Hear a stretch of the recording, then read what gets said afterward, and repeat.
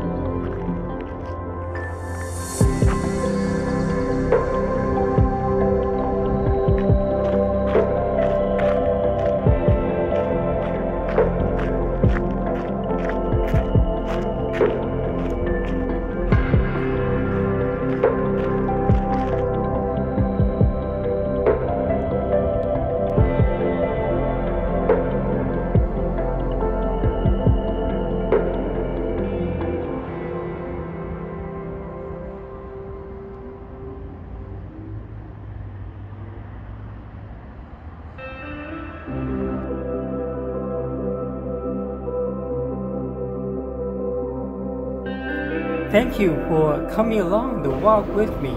That was indeed beautiful. Please subscribe and click like and I welcome your comments. I hope you enjoyed this video. And thanks for watching. And the next one we'll check out the trail of Devil Slide Trail. And it's going to be fun. See ya.